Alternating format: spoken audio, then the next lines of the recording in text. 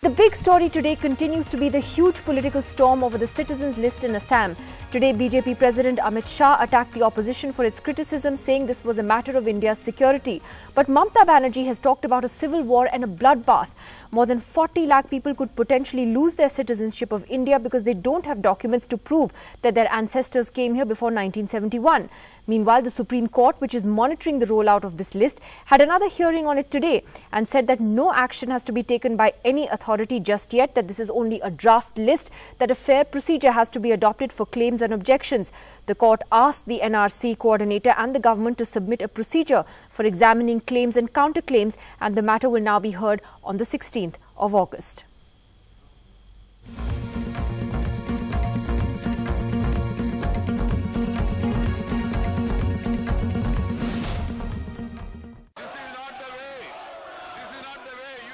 Parliament repeatedly disrupted over 4 million people being declared non-citizens in Assam.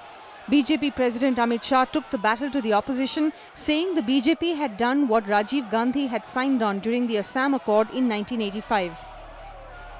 Shri Rajiv Gandhi ने एक Assam accord sign किया और 15 अगस्त के लाल किले पर से भाषण में उन्होंने इसको डिक्लेयर किया क्या था आसाम एकॉर्ड का आत्मा आसाम एकॉर्ड का आत्मा ही एनआरसी था मैं पूछना चाहता हूँ राहुल गांधी को कि आपकी प्रणाली की बात आप भूल गए हैं या आज भी इस पर अड़ीग है आप देश के सामने स्पष्टता करिए While Rahul Gandhi has said the NRC move was begun under Prime Minister Manmohan Singh, the current execution, he said, had created massive insecurity and crisis.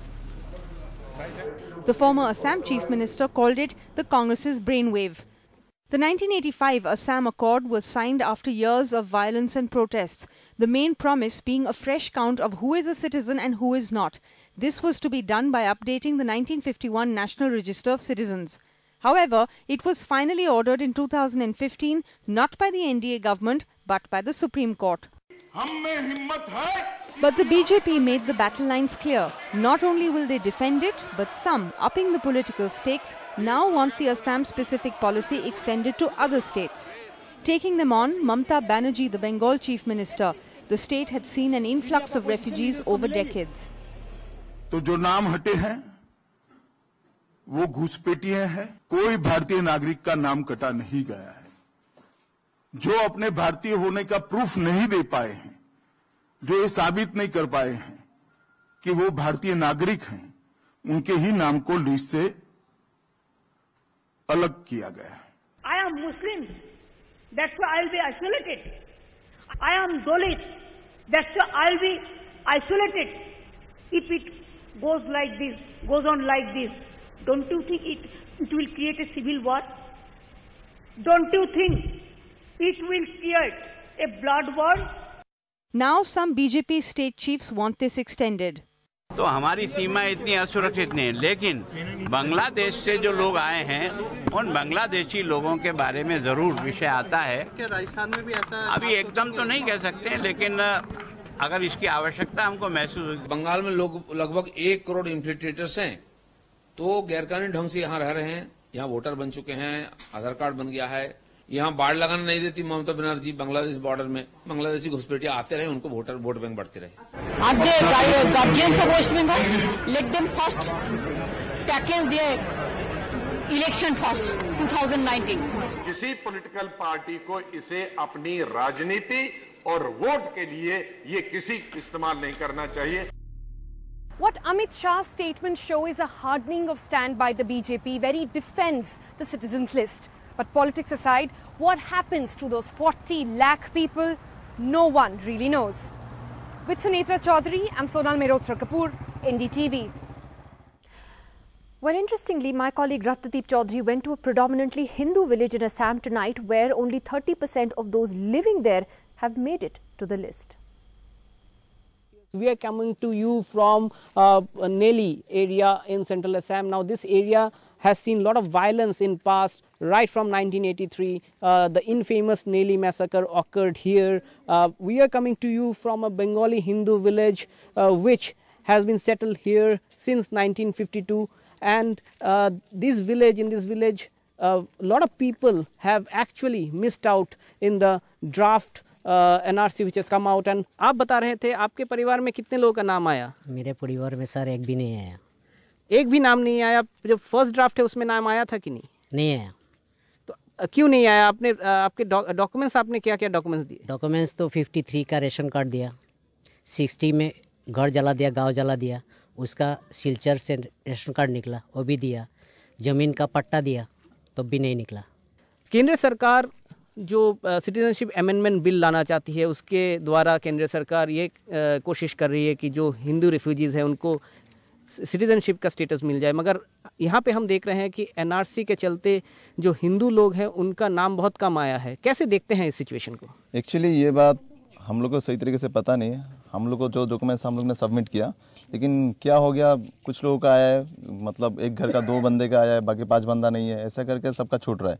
क्यों छूट रहा है हम लोग को पता नहीं है, लेकिन हम लोग का यकीन है कि हम लोग को फिर से मिलेगा। जो सरकार ने जो ऑप्शन रखा है, उसमें हम लोग क्लेम करेंगे। So there you are, these people are hopeful that those among them who are left out in the draft NRC would make it in the final list. Well, joining us on the program tonight on what continues to be a huge political story, Mr. Garga Chatterjee, who is a supporter of the TMC, Mr. Chandra Bose, Vice President of the BJP in West Bengal, Mr. Kalyan Barua, who is the Bureau Chief of the Assam Tribune, joins us. Jaiveer Shergill, the spokesperson of the Congress here in the studio with us, and Mr. Ajay Gautam, uh, who is the petitioner in this case, uh, has, uh, uh, has also uh, joined us here in the studio tonight. The big question, Kalyan Barua, let me begin by asking you is, before we get to the politics, is where are these people going to go? I think that that is a big concern that at the end of this exercise, is there any plan in place? Does the Supreme Court have anything in mind? Does the government have anything in mind that, okay, let's say out of these 40 lakh people, you end up with a list of 30 lakh people that you say are not Indian citizens. Where are they going to go? Is, is, would you say that that's the biggest worry right now? You see, first I'd like to take you back to 2005, uh, sorry, 1985 when the Assam Accord was signed. There it was decided that the foreigners would be first detected, then then deleted, their names would be deleted from the voters list and then deported. Now we have crossed the first stage which is the detection. Now it is for the government, it will be very interesting for, the, for us to watch what the government does, whether it goes for deletion of names from the voter list and then subsequently deported as, as promised in the Assam Accord. So these are the three Ds that uh, had been haunting Assam for quite long, some, for now, I mean for over 30 years now. So it is for the government, we are carefully watching, everyone is watching what the government does next. Because as the government told the Supreme Court today, they expect the first phase, that is the detection process, to be over by 31st December 2018. Now after that the Sonowal government or the Modi government here has to take a call on what to do next with these identified people. you know, but, but, but you know, the irony in all of this is, Mr. Chandra Bose, that it is not, uh, you know, just, you know, Muslims who are on that list. There are a lot of Hindus who are on that list. There are families, for instance, uh, you know, who have some family members who are declared Indian citizens, others who have to, you know, bring their papers. Even the family of the former president, Fakhruddin Ali Ahmad, is not on this list. I mean, he was the president of India. So, would you say that there is something that has gone massively wrong in the way that this has rolled out before we talk about anything else?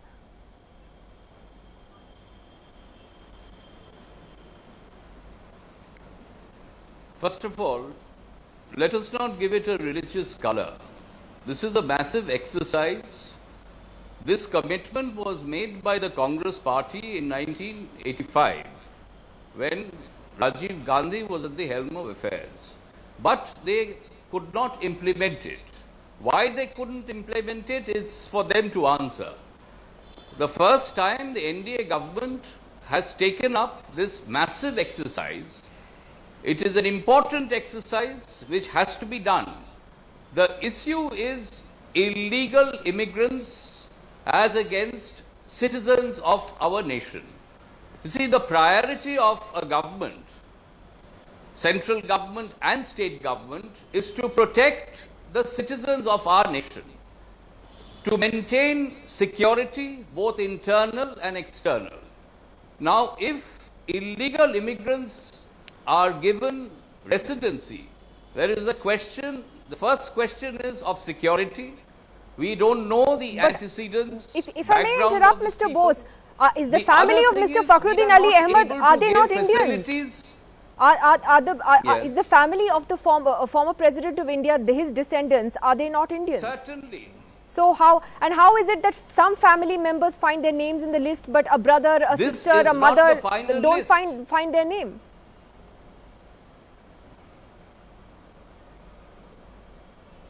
This is not the final list. I think Mr. Amit Shah has made it very clear.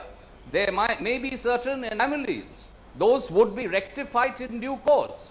You see, the NRC is working for instructions from the Supreme Court of India. The Supreme Court would not allow any anomalies or any errors in the final list. Once the final list is come out, you see, the, the people have to provide certain essential documentation to establish their citizenship. You see, it is a procedure which has to be followed. You see, Well, I am well, a the rights point is activist. that you know, those those, about ana- the 40 those anomalies are, are actually their, something that could uh, cost know, people their lives. But though these are not just anomalies. I mean, the, these are Jaiveer Shergill, something that could really, you know, I mean, now these people will have to go through an appeals process, appear before a tribunal with with documentation to prove that no, we are. I mean, the, you know, that we are actually citizens of India.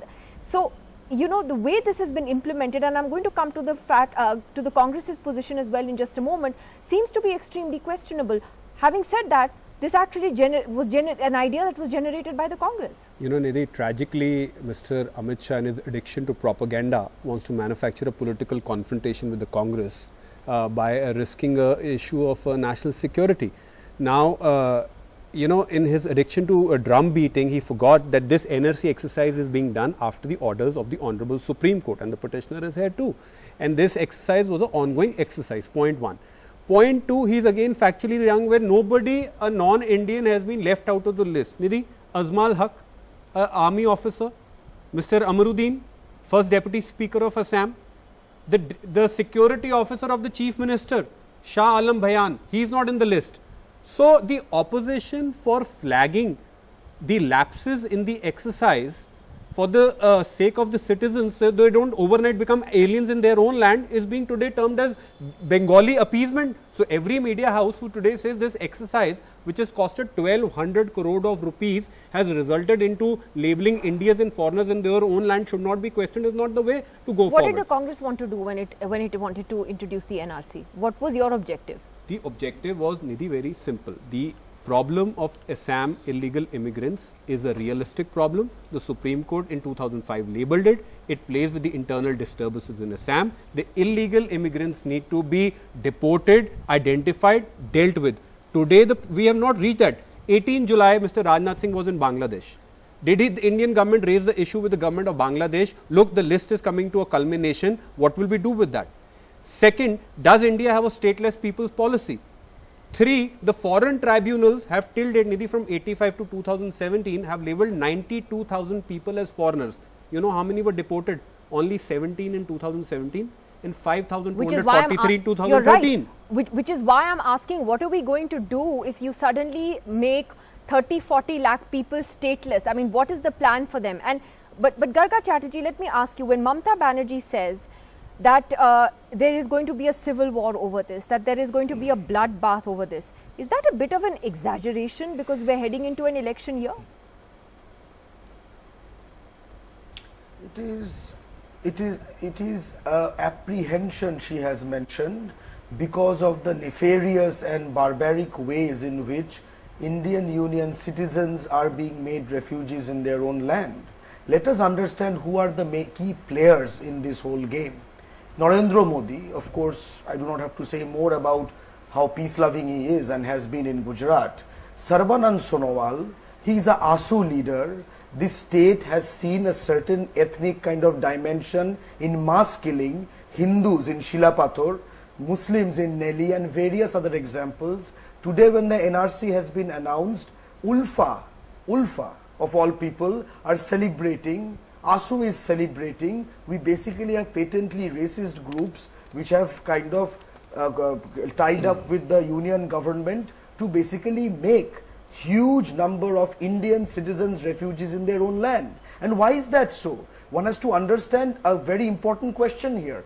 everybody is for detection of illegal immigrants, okay, for non-citizens, of course. But the parameter for determining who is a non-citizen should be uniform across people. It should not be something for a certain linguistic group and something else for other people. Let us have that. And you know, when we because when what is being talked about clerical errors are not clerical errors because you see these so-called clerical errors clearly have a certain bias. There are not so many clerical errors in Upper Assam.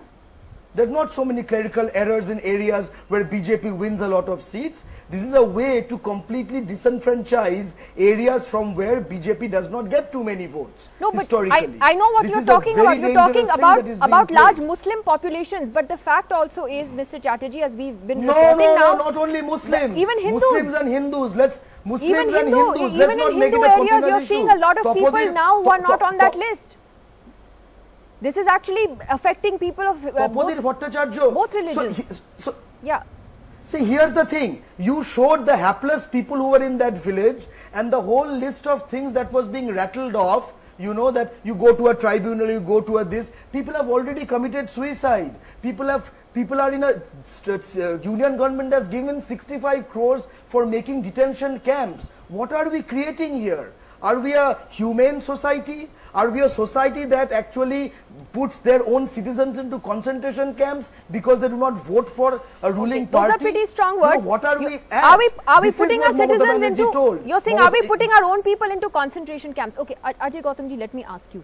What, what would, the, would, would you say would happen to these people if they have to where where would they be deported to? Bangladesh is saying हमारे लोग नहीं हैं. So the, where will the they first go? of all issue is that due to the appeasement and vote bank politics for the last four decades, we are feeding of the citizens who are for the neighbor of the neighbor countries, and we are giving our our own children are dying dying are dying due to hunger and other things and in the absence of any medical aid and we are giving the bottle of the bread bottle of the milk and bread and butter to the children of other countries. Issues varying. When I go with the statistical details which is available on the floor, if I we go with the Mangaldoi, if we go the Barpeta, Bogai Gav, Goalpara, Silchar, Karimganj and Hailakandi, I see the number of the, the number of the Muslim community increase number of times in last two or three decades. Issues varied Mangaldoi where, where the Hindu Hindu uh, populated, but uh, it's a reason. Now it's a now Hindu are the minority in that particular region. No, uh, where will these people go? No, no. Issue issue is that that let us decide by the Union of India because we, we are not saying where they have to go, but why we will allow to feed the peoples who are the infiltrator by the by the money of the taxpayer of this country. Do you not think so? This is this is the but what about those people who are not infiltrators, as you call them, or not migrants, illegal migrants or immigrants, and who are genuine Indian citizens who are finding that their names are missing. They, they get no no data and uh, no procedure is the full proof, and the uh, procedure with regard to the RC is the base is, is base, basic on the uh, verification of the family tree. It might be there is in any shortcoming in the software of the verification with regard to the family tree, the authorities and agencies will correct it